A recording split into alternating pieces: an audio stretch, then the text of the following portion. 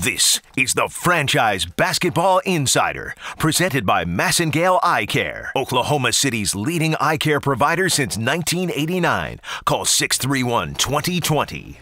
Greetings, Thunder fans. It's game day. While inside AT&T Center is quiet as a mouse right now, it will be raucous tonight when the Thunder and Spurs get together to play for the first game in this best of seven semifinal series.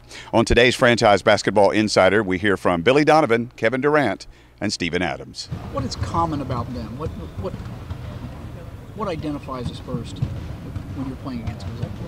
Uh, uh, Gregg Popovich, you know, it's just no matter how many moving parts they have on the team, he always stays consistent in what he does.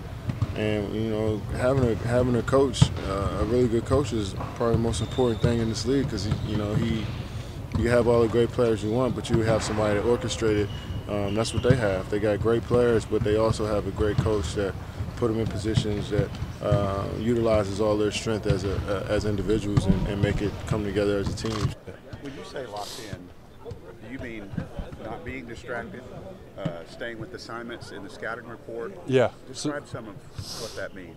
Uh, being, being locked, locked, in for the whole. Uh, yeah, so it's pretty much just not getting caught up. So say you make uh, miss a layup, most players they think about that and that drags on for like three plays afterwards. You've got to get rid of all that. So that's what it takes to be locked in fully. So get rid of the play that's already happened. It's a real bad play.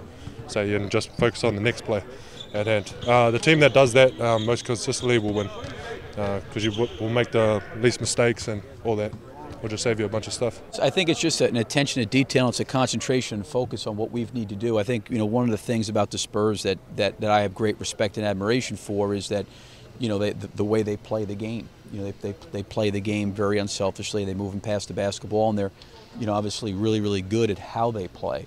And um, I, I, I think the fact of the matter is we're not going to be perfect. We're not going to play. Per- they're not going to play perfect either, but it's more of concentrating on the things that we need to do and the things that we have to have control over. And I think it starts with our concentration or focus on the areas that are important.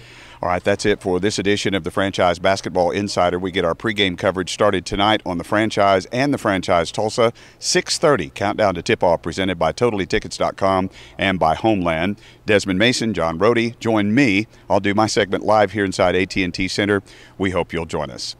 Thanks for watching this edition of the Franchise Basketball Insider. I'm David Garrett for Oklahoma's new sound for sports, 1077 The Franchise in Oklahoma City and 1079 The Franchise in Tulsa.